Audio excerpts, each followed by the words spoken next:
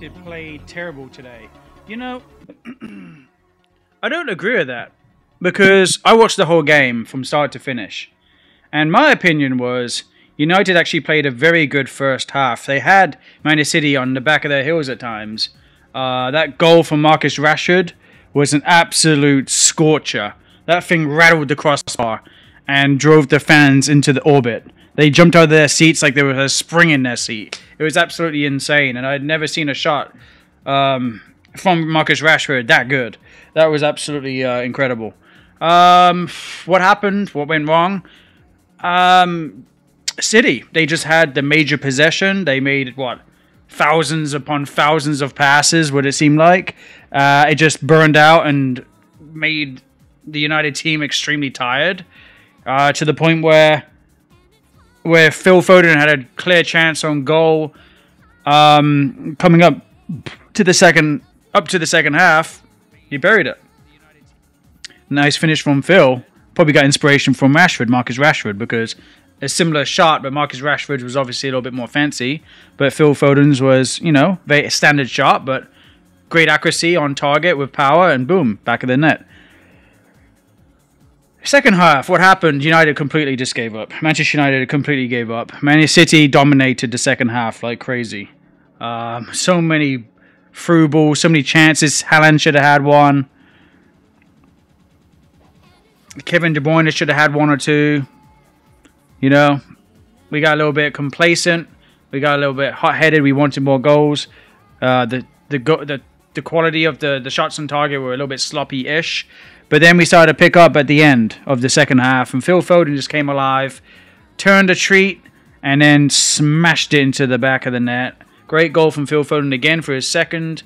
Uh, City just weren't mark. I mean, City United weren't marking very well. They were just leaving people with tons of space uh, for you know Haaland, Kevin De Bruyne, and Rodri and and Foden and Alvarez to really just move around them and outmaneuver them. I feel like United parked the bus at times. They kind of gave up after that first goal and weren't really pushing as hard, and they didn't really want it as much. Uh, and that third goal from Haaland, uh, it's just a simple goal for Haaland, but it was a great goal and a great finish. So I think overall, um, United, for being United, played well. Um, City just obviously played better, and that's how it's probably going to always be. As City is the meta team, the A team, they are the team um, to come out of Manchester, the, the, the top class team. So I don't think much is going to change. Um, I think United is going to be need a huge rebuild. Uh, coming from the back to the forwards to the front, they're going to need to rebuild. They need key players switched out and reinforced. And I don't think it's the manager's fault. I think the manager had okay tactics. However, I did notice that United were defending quite a lot. It felt like it, at times it felt like it was a 5-3-1 or 5-3-2 or something.